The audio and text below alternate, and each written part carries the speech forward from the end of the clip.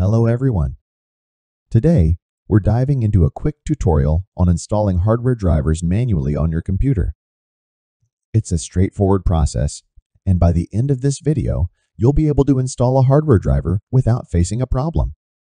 Now, let's get started. On my desktop, I've downloaded the MediaTek driver serving as our example for this video. Your hardware driver may differ, but the manual installation process remains the same. Since drivers are typically zipped, ensure you have a program capable of extracting the folder from the zip file.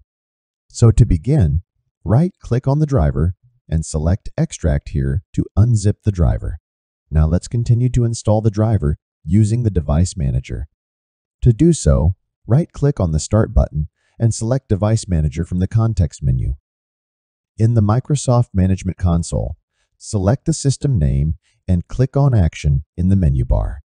In the drop-down menu, select Add Legacy Hardware to open the Add Hardware Wizard window. Read the instructions and click Next. At this stage, the installer presents two options. The first one facilitates automatic searching and installation of hardware from your system. However, our emphasis is on the second option because we are going to install the driver manually. Continue and click Next again. Select the type of hardware you're installing from the list and proceed. At this point, you will notice how the Next button is currently faded. To address this, open the Have Disk to open the Install from Disk window. Proceed by clicking on Browse and navigate to the location where you've extracted the driver folder on your computer. In the driver folder, you will find a setup file. Select the file and click on Open. In this box, you can observe that the driver file is linked to the installer. Go ahead and click OK. Now you'll notice the driver you wish to install is displayed. Continue to the next page and click the Next button again to initiate the driver installation.